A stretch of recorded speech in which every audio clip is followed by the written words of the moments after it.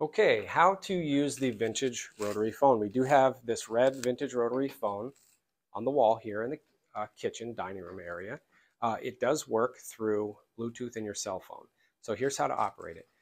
Over next to, on the right side of the fireplace, uh, next to this uh, hickory chair here, there's an end table and on it, there is a box that says X-Link Gateway. There are two blinking blue buttons. And uh, so two blinking blue lights and two buttons below each light.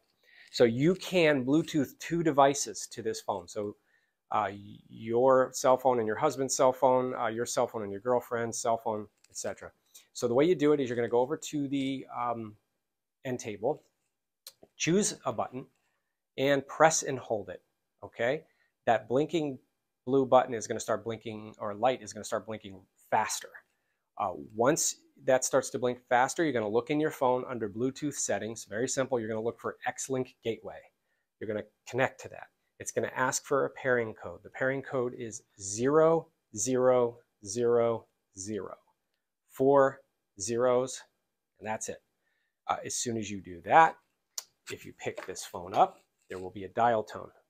Any calls that you get on your cell phone will ring on the house on this rotary phone. And uh, if you want to make a call out, uh, on the rotary phone, if you know how to dial it, uh, you can call out and it will go through, it's going through your cell phone to call out. So um, let's say uh, you call a friend, it's going to show up as your, your cell phone's ID on their, on their caller ID. And that's it. Uh, when you're done, just disconnect from it. And that's it. I hope you enjoy it. Enjoy it. It's really cool. Um, if you're a millennial like I am, uh, you, you know how to use these. Uh, we're probably the tail end of the people, the generations that know how to use these. Baby boomers are going to love the nostalgia of this.